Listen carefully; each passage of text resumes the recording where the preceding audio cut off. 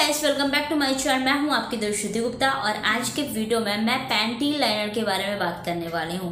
Panty liner आप में से बहुत सी लड़कियाँ होंगी जिन्हें ये नहीं पता होगा कि पैंटी लाइनर को हम यूज़ क्यों करते हैं।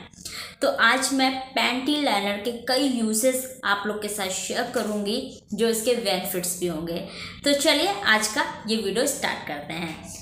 वीडियो ना बहुत इंपॉर्टेंट है, सभी लड़कियाँ देखना, उस वीडियो को शेयर करना, इसके जो एक एक यूजेस जो भी यूजेस मैं आप लोगों के साथ शेयर करूँगी, सभी पॉइंट बहुत ज़्यादा इंपॉर्टेंट है। तो वीडियो पूरा देखिएगा। सबसे पहले, जब भी हमारा पीरियड्स आने वाला होता है तो हमें वाइट डिस्चार्ज को फेस करना पड़ता है जिसकी वजह से वेटनेस एंड डिस्कम्फर्ट होता है।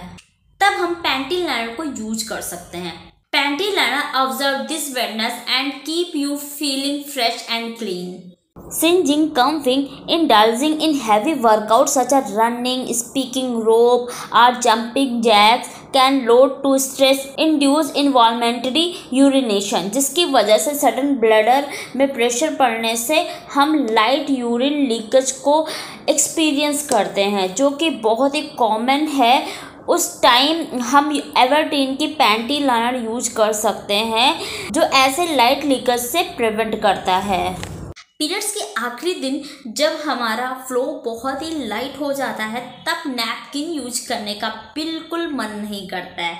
मेरा तो सैनिटरी पैड यूज़ करने का बिल्कुल मन नहीं करता है, लेकिन दाग लगने का जो डर है, वो हमेशा बना रहता है। उस वक्त ना मैं यूज़ करती हूँ पैंटी लाइनर को। इससे क्या होता है, अगर मेरा, क्योंकि हमें पता नहीं होता कब पीरियड्स आ भी सकता है, नहीं भी आ सकता है। तो अगर पीरियड्स आता भी है थोड़ा बहुत तो वो ऑब्ज़र्व कर लेता है, जिससे कोई भी दाग नहीं लगता है। और जो नैपकिन जो होते हैं, वो थोड़े मोटे होते हैं सैटी पैंट मोटे होते हैं ना, ठीक है? और जो पैंटी लाइन होते हैं, बहुत ही लाइट होते हैं।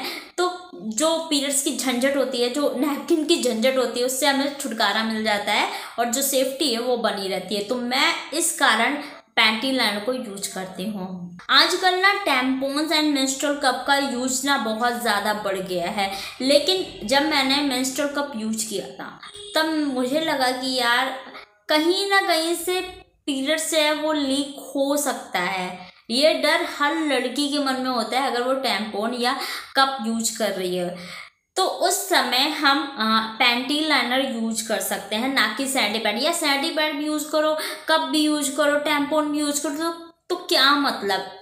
बहुत ज़्यादा हैवी हो जाएगा और बहुत ही आप कंफर्टेबल बिल्कुल भी नहीं रहेंगे। तो उस समय आप पैंटी लाइनर को यूज़ कर सकते हो। अगर आपके मन में पीरियड्स को लेकर थोड़ा डर है कि हाँ लीक हो सकता है, तब आप पैंटी लाइनर यूज़ कर सकते हो। बहुत ही यूजफुल है उस टाइम ये। एंड स्पेशली जब आप ट्रेवल करते हो, आप बाहर जाते हो ट्रैकिंग करते हो, उस समय ना आप अपनी पैंटी को क्लीन करने के लिए, क्योंकि हमें ऐसी सिचुएशन नहीं मिलती, ना इतना टाइम मिलता है ना हमारे पास घर जैसा कुछ माहौल नहीं होता कि हम अपनी पैंटी को बार बार क्लीन कर सके।